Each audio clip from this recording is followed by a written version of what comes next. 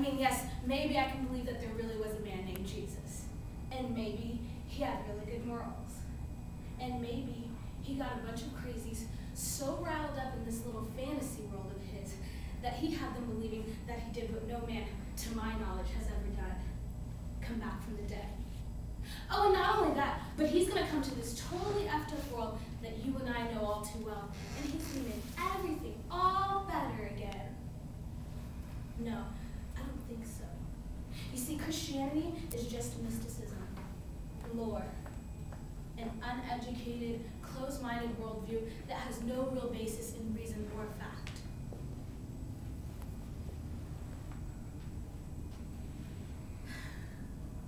This is the story that the modern man tells us. We as Christians fight against a religion of science that constantly challenges our faith. Yet, in the midst of it all, we are called to be a light into the world. But how do I share the good news with someone who discredits me from the get go? Stephen in Acts 7 tells us here we see from beginning to end how to be a faithful witness to Christ in a world that is completely and utterly combative towards the gospel. Stephen, in his very short time in biblical text, gives us a picture of a complete witness. One that speaks revelation, understands repentance, and, at the end of all things, initiates reconciliation. Now, at the beginning of Acts 7, 7 2 through 50, Stephen basically gives us a really long and detailed speech, taking Old Testament texts and speaking God's revelation into them. He brings a new thought process or philosophy, if you will, to these ancient texts. His main point being the Most High does not dwell in temples made with human hands. Now Jesus is the new temple, and it's through him and through him only that men will come to know God. He's saying, God has done something great. The Messiah has come, and you are about to miss out on it.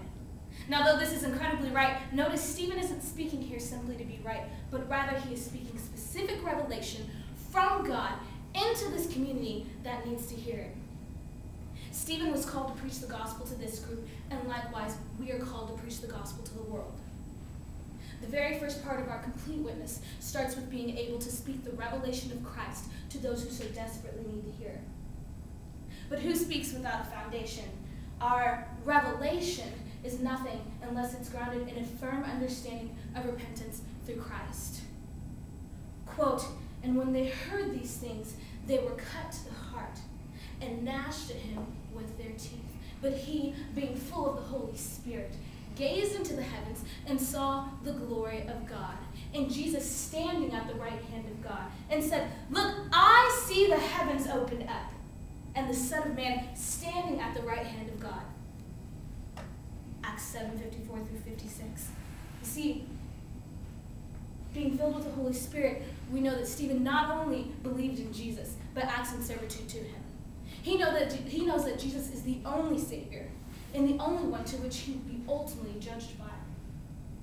This vision of him seeing Jesus standing at the right hand of God, it's incredibly powerful. And all other mentions of Christ at the right hand of God, Jesus is sitting. Yet here he stands, standing in defense of Stephen before God.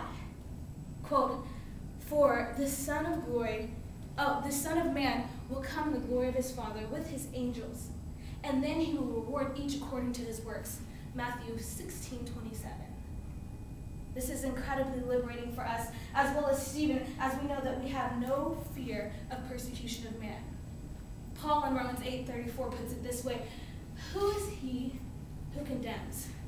It is Christ who has died and furthermore is risen, who sits at the right of God, who even sits at the right hand of God, and furthermore intercedes for us. I mean, we can't begin to share our witness without first coming to the foot of the cross. In repentance, we are humbled and comforted in knowing that no matter the earthly consequences, Christ has provided for us eternal life with God and the riches of his kingdom. Now, we as Christians seem to be fairly comfortable with speaking revelation into people's lives and accepting Christ as Savior, but there's a final piece, and probably the most important to Stephen's witness, that I think we're not so comfortable with. Imagine this you are Stephen, and not only do I not agree with you, but our conversations have become rather violent. You are a liar and a cheat. You are a blasphemer, the scum of the earth, and you deserve to die. And yet, Stephen, in understanding God's ultimate purpose to reconcile all things to himself, responds in two ways.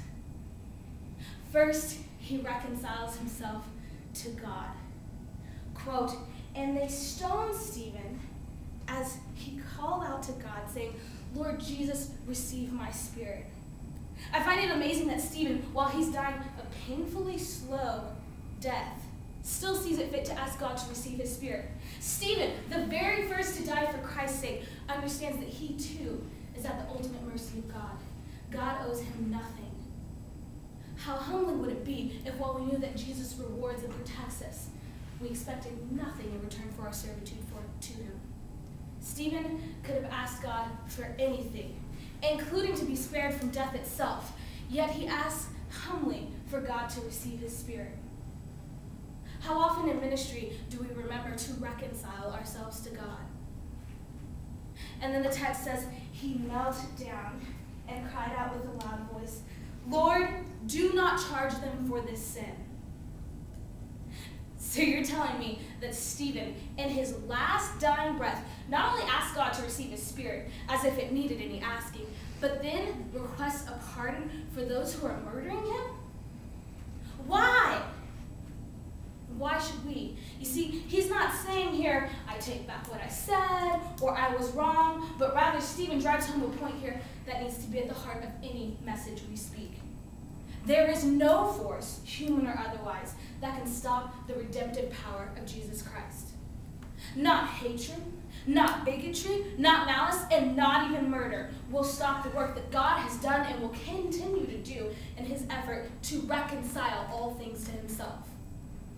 And no matter the fleshly weaknesses that come up, Christ has already bought salvation for us. Demons will be cast out, relationships will be healed, walls will be broken down, and the glory of God will be shown. And what greater example do we have of this than Stephen in Acts 7 showing this picture of the grace of God right before his undeserved murder? I mean, whatever the audience, whatever the consequences, Christ has called all those who believe in him to share the good news. And being bearers of this news, we must take it very seriously, for we fight a vicious battle in which we are called to, quote, deny ourselves and take up his cross, Matthew 16, 24. Stephen denies himself and takes up Christ's cross. Through revelation, repentance, and reconciliation. If we can speak the truth of God, understand our place beneath Jesus, and ultimately work to be the image of Christ's love in this world, we have a witness that cannot be stopped. You see, our complete witness is proof that now everything has changed. For God has put into motion a story of human redemption that will continue throughout the ages. Thanks.